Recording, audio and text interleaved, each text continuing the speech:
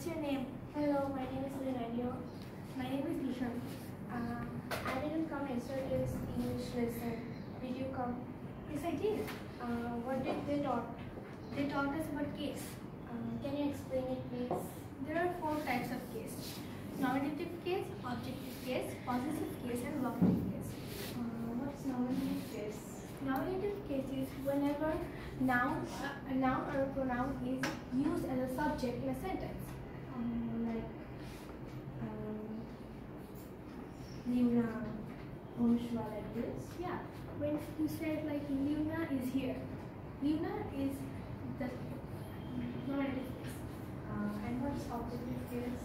Objective case is whenever a noun or pronoun is uh, uh, as a subject in a sentence. Like he has a. Pen is a subject.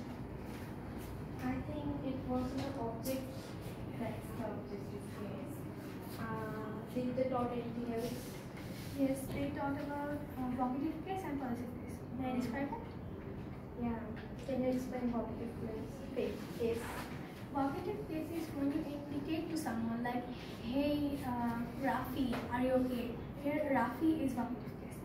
And possessive case is when it uh, indicates ownership, uh, like it is his car. He, uh, it's his car. It's like possessive. Okay. I should come yesterday because it's important. I think. Um, can you explain possessive form once again? I should understand it.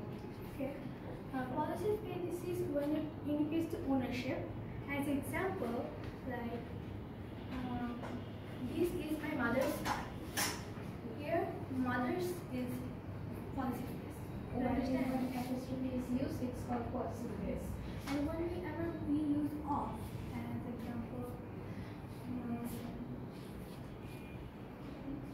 I am one of the girls of um, Government Main Girls High School.